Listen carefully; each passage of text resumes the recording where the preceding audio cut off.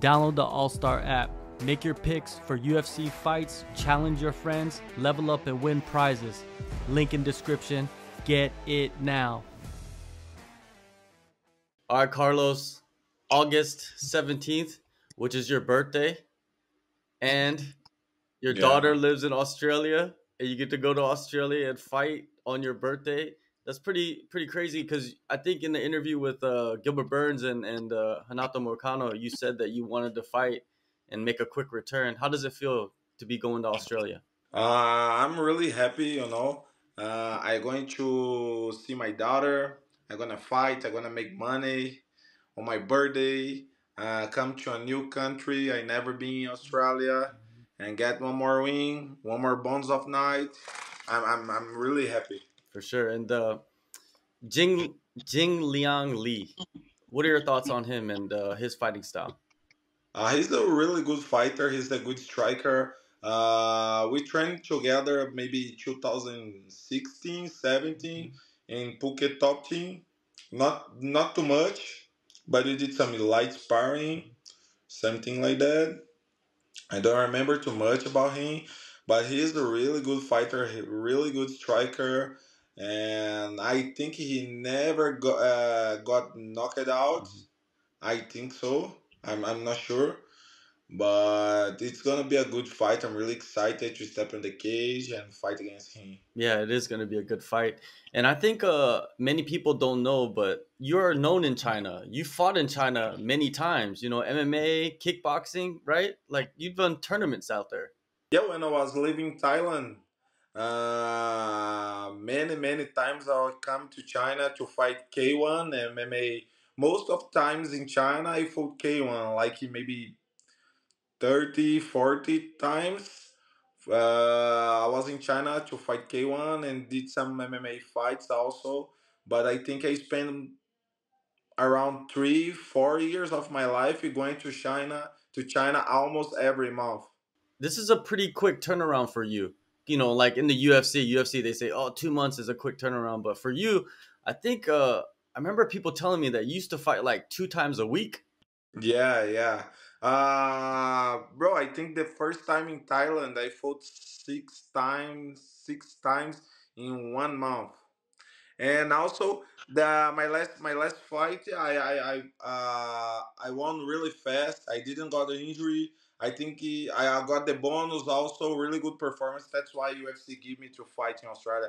And I think also not too many peoples, especially from Brazil, wanna come to Australia and fight. You know because the fight time and the jet lag is really bad. There you're gonna fight at morning. You know. Uh, the last time was UFC in Australia.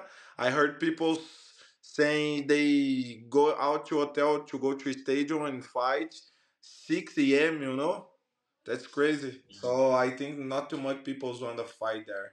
Yeah, that's true. Not many people want to fight there, but it seems like you you're like you like the challenge, you know? You like to be in uncomfortable situations. Yeah, uh, like I say to my coach and my friends, uh, I'm friend of the how how is the word when is in the the situation is not comfortable. How Um is the word? like adversity you're talking about? Adversity? Like uh, Like uh, obstacles. uncomfort, Uncomfortable. unco- no, yeah, it's how you say. Uncomfortable? Yeah, I'm friend of uncomfortable. You know, Uh, oh, you're like friend of uh, I, I'm yeah. I think if you become friend of uncomfortable, not too much things can hurt you. I can make you surprise or something like that. You know. Definitely. And you know, your last fight, it ended with a knee to the body. And I remember last year, LFA 154, you you had kind of like a similar finish, but the knee landed on the head. Was that kind of a similar fight setup?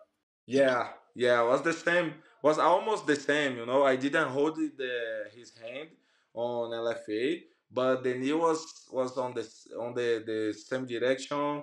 Uh, was to to knock him out, and also the the my opponent was the same kind of opponent, you know. They both was trying to take me down, and they was grappling, and uh, it's really good. The, I train a lot of knee for many angles, for many times, day by day, and now it's time to to to get one more. Yeah, if you watch a, a lot of your fights, you know, even like your K1 fights and your kick uh, Muay Thai fights, you throw a lot of knees. You know what I mean? That's something that's like one of your main weapons, right?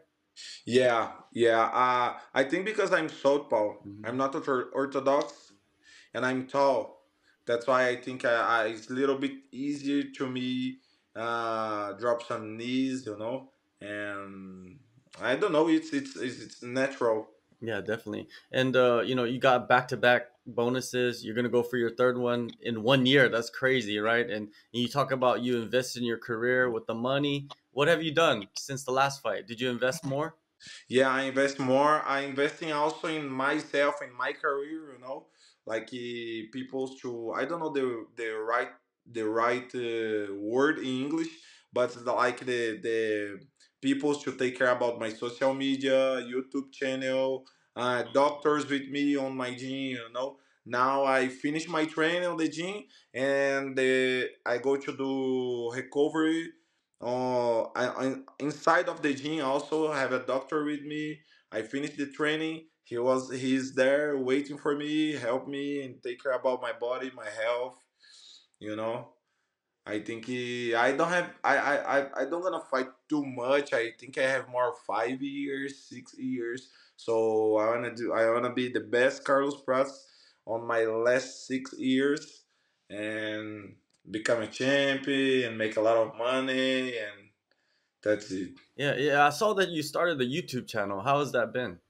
Yeah, it's really good. You know, it's, it's, it's new for me because I'm not I'm I'm not good, really good talking with the camera or people's a video about me. But it, it's fun.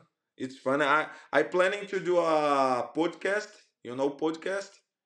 Yeah, I planning to do after my my fight with a friend. Uh, did you think about doing Yeah, other sport? Do you think about doing other sports? Maybe like football or something? Yeah, we're gonna talk about everything. Football. I like F one. and yeah because it's really really popular in brazil football you know Oh, for sure. You know, after the last fight, did you just jump right into training camp right away, or did you take a break? yeah i think i got break for three weeks but i i already i already knew i would fight in australia because after my fight i did the interview inside the octagon and my manager sent message to Mick, i think because i i, I asked to fight to fight in australia and Uh, like two minutes after my fight, Mickey replied my manager and say he's on the card already uh, in Australia. So after fight, uh, I knew already I was on the card, but I got like a three weeks to stop. I didn't stop, you know. I, I just don't didn't was not doing pads and run on the street, but I come to the gym, do some sparring and things like that, but not really training a lot and wake up in the morning, go to the run and back to the gym, hit some pads and training afternoon again and you know I got some break like three weeks, two weeks and a half and then when they send me the name of opponent, I was like, ah, no, I'm, I'm, I'm gonna fight. And you know, Lee, he he's been gone for a long time. You know, I think it's been like two years. You know, he has not fought. Yeah, almost two years. Yeah, it's. Do you do you- do you believe in like ring rust? Oh, yeah, yeah. Ah, bro, I don't know. I, I didn't, I never got too much time without fight, you know. So I don't know if it's true or not. I don't believe that. I prefer don't believe that. I prefer Uh, he's two years without fight, without uh, uh, probably any injury. Uh, you know, he not not stressed.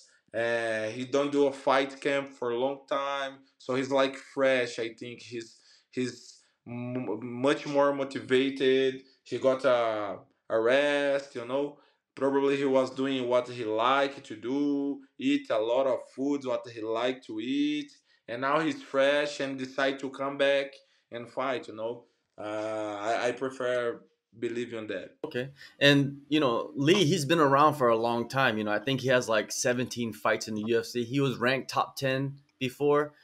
I think this is Yeah. perfect opponent for you to you know jump up in the rankings, right?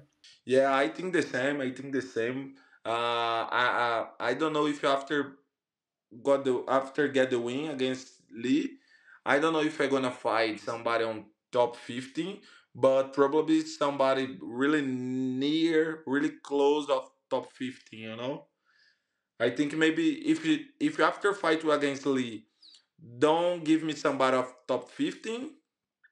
Probably I gonna win one more fight and then I gonna fight somebody on the on the rank. You know, but that's okay. I'm, I'm not rushed. I like to do it step by step and that's it. I'm not rush. Uh, you posted a picture of uh you sparring with uh Caio Borralho. How is it? How was it working with him?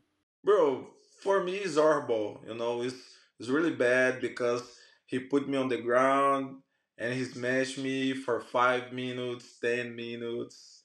You know, but I learned a lot. I learned. Uh, I'm kidding. I'm learning a lot. I really like to train with Caio. He's really, really good uh, grappler. He's good striker also, but his grappling is, is is different level, you know. He's training many, many years with Demian Maya when he was young, and he's really good. When when you are on the ground with him, you can only move your eyes, you know, nothing more. But I, I learned a lot. He teach me a lot of things, a lot of details, and I think the more the more important. Uh, he teach me a lot of times when I need to get up and things like that. I I really like to train with him. I don't like to train with him, but I like to train with him. Well, you need it, right? you understand? Yeah, Yeah. yeah, yeah. yeah. I know, I know, I know. Yeah, but you need it because eventually, you know, when you get to the top ten, you're gonna fight somebody similar to that style, right? Yeah. Yeah, you know, when when we start to talk, I say I'm friend of unco- un- uncomfortable. Yeah, yeah, because every time when I come to train with Caio, uh, another guy, he was former UFC fighter. Now he fighting ACA. Elias Silverio, uh, many many guys uh, there on on the gym. Uh, I like to to to pull on the guard when I try start to train with them and then get up, you know. But it's it's really hard. Sometimes I I, I don't get up on the training for any time.